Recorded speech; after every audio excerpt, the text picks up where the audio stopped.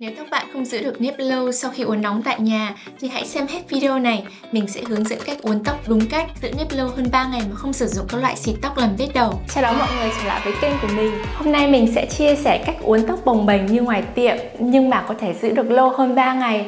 Thì đầu tiên là công cuộc chuẩn bị trước ngày uốn tóc bởi vì đây là cái nền tảng để mà có thể uốn nóng, khỏe mạnh và giữ form được nhiều ngày. Có ba bước chúng ta cần phải làm. Bước 1 là phải gội đầu thật sự sạch. Nếu bạn muốn xem qua video về quy trình gội đầu để có mái tóc dài khỏe mạnh như mình, thì có thể nhấn link này và mình sẽ sớm update một chương trình hoàn thiện đầy đủ sớm nha. Vậy nên là hãy nhấn theo dõi để không bỏ lỡ những video mới nha. Tuy nhiên, đây là một cái full wash, có nghĩa là một chương trình dài và tốn khá là nhiều thời gian vậy nên là một tuần mình chỉ làm một lần thôi. Còn mẹo để gội sạch mà không cần dườm dài nhiều bước thì bạn chỉ cần follow ba mục sau.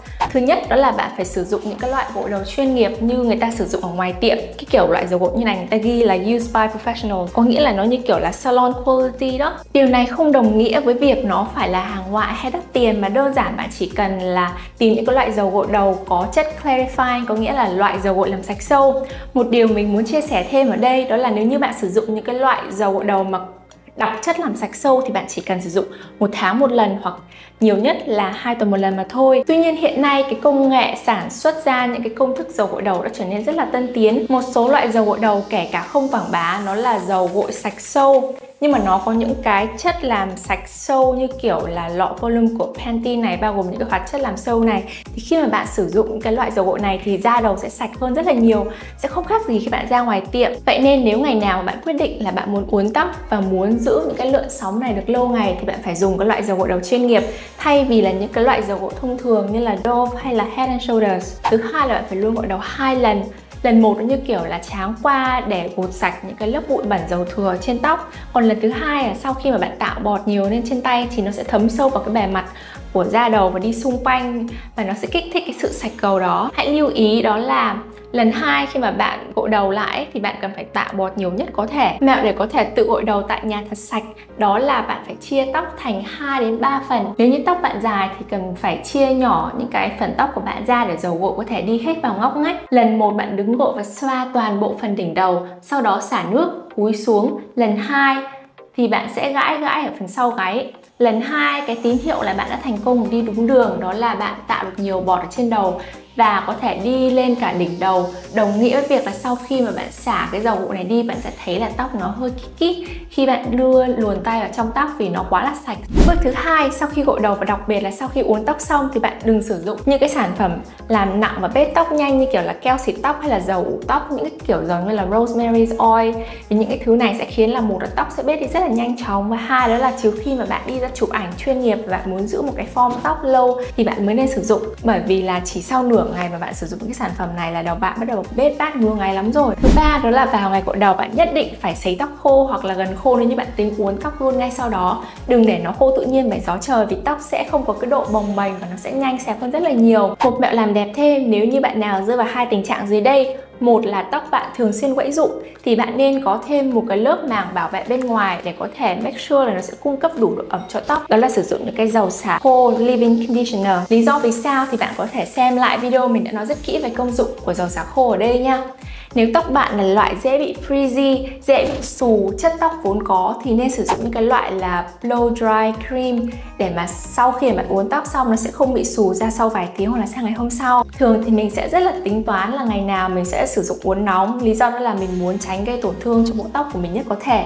Tuy nhiên máy uốn tóc nó sẽ tạo ra một kiểu tóc mình thực sự rất là ưng ý cho nên là mình sẽ ví dụ sắp xếp lịch một vài ngày đi chơi liền từ tí với nhau. Ví dụ ngày thứ nhất mình gội đầu đến ngày thứ ba mình bắt đầu uốn tóc. Ngày thứ tư, thứ năm, tóc mình vẫn giữ được cái độ bồng bềnh đó. Và đến ngày thứ sáu thì mình có thể dùng uốn tóc không nhiệt bằng dụng cụ hay là bằng tất vào buổi tối. Và sáng ngày hôm sau mình vẫn có một cái độ bồng bềnh nhất định. Và sang ngày thứ bảy thì mình sẽ đi gội đầu lại và dưỡng tóc sâu để mà hồi phục cái việc mà mình đã uốn tóc nóng trong vài ngày vừa qua. Điều quan trọng ở đây mà để tóc uốn giữ được lâu ngày mà không cần sử dụng keo xịt cứng ngắt thì lúc uốn phải khiến cho cái lọn từng nhánh tóc nhỏ nhất, chặt nhất có thể, chứ không phải là kiểu lỏng lỏng, suôn suôn nhẹ nhàng. Thì mình để đạt được cái điều này, bạn có thể, một là thay đổi kích thước của máy uốn tóc, có nghĩa là sử dụng cái máy có thân càng nhỏ thì lọn sẽ càng chắc. Ví dụ như nếu mà bạn sử dụng những cái máy uốn tóc thân càng to, thì cái lọn của nó sau khi mà rơi xuống sẽ càng to. Còn khi mà bạn sử dụng cái máy uốn mà nó có thân nhỏ như thế này thì lọn lúc đi xuống nó sẽ thực sự rất là chặt, rất là nhỏ. Tuy nhiên điều này hoàn toàn phụ thuộc vào sự yêu thích của bạn nha. Ví dụ như là nếu như mình muốn ngày thứ hai, thứ ba tóc vẫn có một chút bồng bềnh lượn sóng thì lúc mình uốn mình sẽ dùng cái uốn thân nhỏ và chắc nhất có thể. Bởi vì là sau một tiếng và sau khi mà trải tóc ra thì tóc nó sẽ trôi ra và thuôn xuống rất là nhiều, đặc biệt là với cái chất tóc thẳng và cứng như của mình. Thì cách để mà mình có thể làm chặt cái lọn uốn nhất có thể đó là một mình sẽ chia tóc thành nhiều phần. Tóc chia phần càng lớn thì lúc mà uốn nó sẽ lơi ra càng lỏng. Tóc mà để trên máy càng uốn lâu thì độ giữ form càng nhiều. Thứ ba là sau khi mà bạn uốn xong ấy, thì bạn phải giữ cái lọn đó một lúc thay vì là thả thẳng xuống hay là dùng tay hay là dùng lược mà lưa nó ra. Một điều cực kỳ quan trọng trước khi chúng mình đi vào cách uốn tóc sử dụng loại máy nóng như thế này. Ta sẽ chỉ giữ nhiệt nóng lâu nhất ở phần tóc chóc khỏe mạnh nhất và ít thời gian nhất ở phần tóc yếu dễ gãy rụng tổn thương nhất. Điều này nghĩa là như thế nào? Mình đã giải thích rất cụ thể video này, Tuy nhiên bài học nó ngắn lại ở đây, đó là tóc mọc ra từ đỉnh đầu, càng đi xuống dưới đuôi tóc thì tóc chúng ta càng yếu vì nó đã ở trên đời này rất là lâu rồi. Vậy nên khi mà bạn đưa cái máy uốn tóc vào thì bạn phải bắt đầu ở cái phần trên này, đầu từ đó rồi bắt đầu mới trôi xuống. Mình đã xịt dầu xả khô rồi, bây giờ mình sẽ sử dụng xịt chống nóng. Một cái điều lưu ý ở đây đó là nó sẽ áp dụng với tất cả các cái loại xịt hay là bôi lên trên tóc. Để những cái hoạt chất này thực sự phát huy được tác dụng của nó thì bạn phải chia tóc ra thành nhiều phần khác nhau. Để mà xịt và bôi vào thì nó mới có thể đi sâu bên trong được, chứ nếu không ấy, khi mà bạn chỉ xịt, ví dụ như này, như thế này, thì cái chất này nó sẽ không thể đi vào những cái lớp ở phía giữa này, đằng sau này. Đó thì bây giờ chúng ta hãy cùng sử dụng xịt chống nóng. Xịt chống nóng chúng ta phải xịt toàn bộ tóc nha. Ngoài cái việc xịt chống nóng giúp bảo vệ tóc của chúng mình ra thì nó còn giúp, nó còn khiến cho tóc kiểu hơi ẩm ẩm một xíu. Thì khi mà uốn tóc nóng ấy, nó mới giữ được form lâu. Nếu như bạn nào mà tóc thẳng và dễ lôi lọn tóc ra như mình ấy, các bạn có thể tìm những cái dạng xịt chống nóng mà nó có cả độ hô tóc. Với những bạn nào mà tóc dài như mình ấy thì sử dụng những cái lọ gì chống nóng thì sử dụng rất là tốn luôn. Vậy nên mình nghĩ các bạn nên tìm mua một cái loại nó tốt mà giá cả ok phải chăng? Mình sẽ để link một vài sản phẩm bên dưới này mình, mình nghĩ là có thể rất là có ích cho các bạn nha. Với cái lượng tóc dài và dày như thế này thì mặc dù là mình biết là mình muốn cái lọn tóc của mình khi mà uốn sẵn có thể nhưng mà mình sẽ không dùng những cái uốn tóc nó nhỏ như thế này vì là nó sẽ mất khá nhiều thời gian. Mình sẽ chọn một cái loại ở mức độ trung bình nhất và vừa phải nhất với cái tóc của mình sẽ là cái da to hơn một xíu như này một điều quan trọng các bạn phải chải tóc để cho nó thẳng, đừng để nó bị rối vào nhau. Khi mà đúng tóc thì nó có thể đi vào những cái lỗ như thế này và khi mà giật ra thì tóc nó sẽ trôi ra một mảng luôn. Một điều quan trọng nữa đó là khi mà bạn uốn tóc thì hãy chọn những cái áo mà nó dài và nó che được cái phần vai, phần ngực này. Thì khi mà bạn thả cái lọn tóc xuống, nó vẫn còn đang nóng, đúng nó sẽ không làm bỏng da bạn. Sau khi mình sử dụng cái xịt chống nóng này xong ấy là mình đã thấy là tóc mình đã có một cái tầng nó hơi phồng phồng lên thêm một xíu rồi. Nhưng mà nếu như bạn nào mà tóc thực sự rất là mỏng và muốn tạo một cái độ lượn sóng bồng bềnh thì các bạn có thể sử dụng những cái loại như là mousse làm phồng tóc, mình sẽ để link sản phẩm bên dưới. Máy uốn tóc nóng này nó có rất là nhiều mức độ khác nhau, càng cao thì nó sẽ càng nóng. Tuy nhiên mình chỉ đi tới mức thứ hai là vừa phải thôi tóc nó sẽ không phải chịu quá nhiều tổn thương. Cái luật đưa ra ở đây khi mà chúng ta sử dụng cái máy uốn tóc như này ấy, đó là tóc của mình luôn đặt ở phía trước, máy sẽ đặt ở phía sau. Bạn nhìn nhé, các bạn sẽ đặt cái máy uốn tóc đấy ở đằng sau tóc của mình. Cái càng mở ra này sẽ kẹp tóc vào, có nghĩa là mình đặt máy đằng sau này, sau đó là mở càng, cho càng vào đây. Khi bạn cho càng vào thì bắt đầu lại bạn uốn như thế này nhé, bạn nhìn này, uốn tóc một lượt đi gần vào tai nhất, đi gần vào đầu nhất có thể.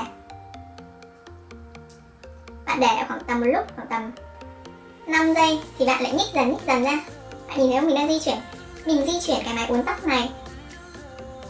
Đó, và mình di dịch dần xuống và mình lại vòng nó lại. Bạn có thể test thử như thế này xem là tóc nó đã nóng đủ vừa đủ độ nóng chưa? Nhưng mà cẩn thận không là bỏng nữa nha. Đó thì bây giờ có phải là đến mức như thế này thì là toàn bộ cái lọn tóc và nhánh tóc này đã lên hết trên máy uốn tóc rồi. Bây giờ sẽ bắt đầu thả ra này khi mình thả ra thì là mình sẽ lơ nó ra như thế này.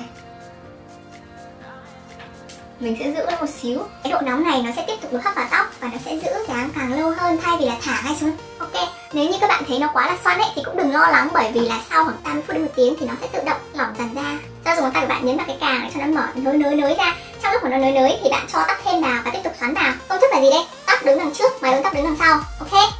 Thì khi mà máy uốn tóc đứng đằng sau rồi, mình cần mở cái càng ra. Có nghĩa là tay mình phải như này không? Có nghĩa là phải đầu tóc đứng đằng sau này, càng thì phải lưa được vào tóc, đúng không? Có nghĩa là chúng ta sẽ cầm cái mảng tóc như thế này. Sau đó, ui, không nhìn được. Hơi sợ hãi nha mình cũng sợ, thì không quen nhìn vào. Bình thường là mình sẽ nhìn thẳng vào gương ấy, ok. Bạn lưa cái càng kẹp tóc vào tới càng gần mặt đầu càng tốt sau đó là các bạn sẽ quay một vòng. Quay một vòng, ok. Lưa cái lọn tóc sang phía đằng sau này. Đó, bây giờ mình sẽ giữ ở đây một xíu để cho nó có tạo cái độ phồng ở ngay chân tóc. Thì một lát sau khi mà mình trải tóc thẳng ra, thì nó sẽ có những cái tầng tầng lớp lớp phồng từ bên trong ra bên ngoài. Cho ngón tay vào đây, cho ngón tay vào cái kẹp đấy, xong bắt đầu nối dần cái kẹp ra, nối dần nối dần này, nối nối dần. Có nghĩa là khi mà nối ra thì tóc nó tiếp tục được đi sâu vào bên được đi sâu vào cái mái uốn, đúng không? Thì các bạn lại tiếp tục vừa vừa nhấn nhá, vừa cho tóc vào, vừa tiếp tục uốn. Bây giờ nếu các bạn muốn đi nếu mà tóc bạn dài muốn đi sâu tiếp xuống dưới thì các bạn có thể lưa dần ra. Đó, bạn khi mà bạn cúi vòng xuống để lưa tóc ra, tiếp tục và nhìn lưa tiếp này. Đó, và bạn sẽ có nhiều khoảng trống ở trên mái uốn nóng hơn để mà các cái lọn lọn tóc được đi vào thêm sâu nữa đó sau khi xong thì bắt đầu lại thả ra và giữ form Chúng mình thực hành uốn tóc áp dụng các bài học trên. Hãy lấy máy uốn ra và làm theo mình nha. Giờ mình sẽ đổ góc quay khi mình uốn nhìn thẳng vào gương. Nếu bạn nào chưa quen thì tay và máy di chuyển y như hình là được nha. Luôn nhớ này, máy uốn sẽ nằm phía sau nhánh tóc và uốn nhánh nhỏ nhất thì lọn sẽ xoăn và giữ dáng được lâu nhất.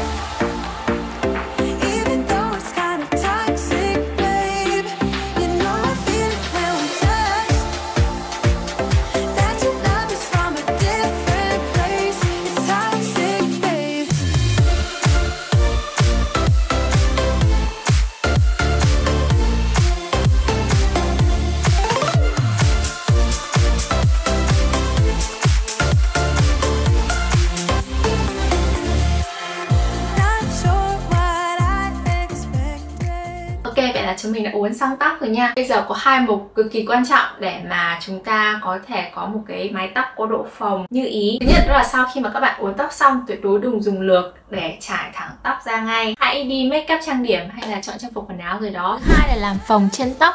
Cái này rất đơn giản. Bạn chia đầu bạn thành 3 phần Bên trái, bên phải và đằng sau. Lấy một nhún tóc dơ lên như thế này cho máy uốn vào và đẩy máy về phía ngược lại của tóc làm tương tự cho phần tóc còn lại về phía đằng sau sau khi xong mà sẽ thấy nó phồng lên rồi này